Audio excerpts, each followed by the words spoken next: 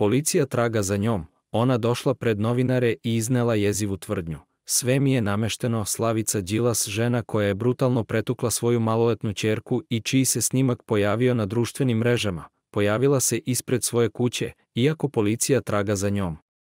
Naime, kako saznajemo, ona je za medije rekla da nije kriva i da joj je majka sve namestila kako priča Slavica. Majka ju je naterala da pretuče svoju ćerku pod pretnjom da će ubiti njenog sina. Rekla joj je, prema njenim rečima, da će ona sve to da snimi.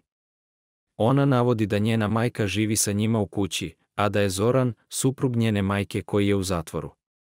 Ne znam koji je razlog što je on tamo, rekla je ona. Međutim, ona navodi da je njega prijavila njegova partnerka, odnosno njena majka, za nasilje. Majka je njega prijavila zbog nasilja, a sad ispade da ja moram da ga branim tako što moje dete mora da trpi nasilje od mene, kaže Slavica.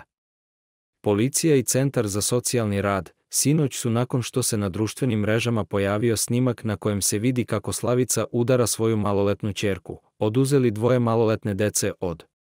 Podsetimo, za Slavicom Đilas raspisana je potraga pošto nije dostupna državnim organima. Prvoslava Pajića i Slavice Đilas. Drugo osnovno javno tužilaštvo u Beogradu je odmah nakon saznanja o video snimku na kome se vidi da majka tuče devojčicu sazvalo vanredni sastanak grupe za koordinaciju i saradnju za opštinu Grocka i u saradnji sa Centrom za socijalni rad i policijskom stanicom Grocka odmah preduzelo mere u cilju utvrđivanja svih okolnosti vezanih za predmetni događaj i zaštite maloetnog lica, saopštili su iz tužilaštva.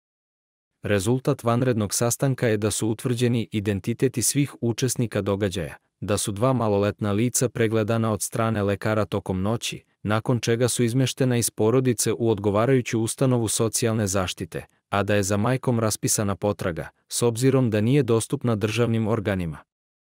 Sinoć je došla policija sa ljudima iz Centra za socijalni rad i odveli su decu, potvrdio je za Blic suprug žene koja je tukla njihovo dete. Osim trogodišnje devojčice, oni imaju i jednogodišnjeg dečaka, koji je takođe izmešten iz porodice, piše Blic.